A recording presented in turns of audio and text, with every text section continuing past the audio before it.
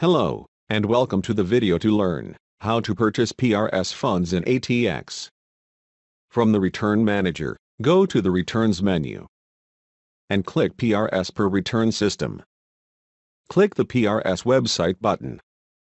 The ATX PRS Return Purchase and Unlock Center appears in your web browser. Before proceeding, be sure to read the statements on screen to verify that you are in the correct program year for the return you are purchasing and that you understand that your PRS returns are non-refundable and not transferable. To continue, you must select the checkbox to show that you agree with these statements. Otherwise, select Cancel. Click Continue to proceed.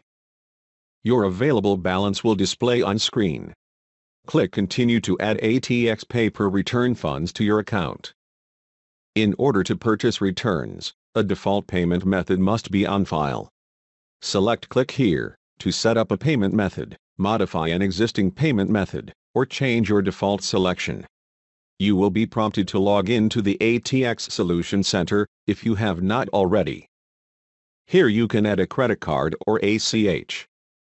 By checking this box, you acknowledge that you have read and agree to the terms presented in the Terms and Conditions Agreement.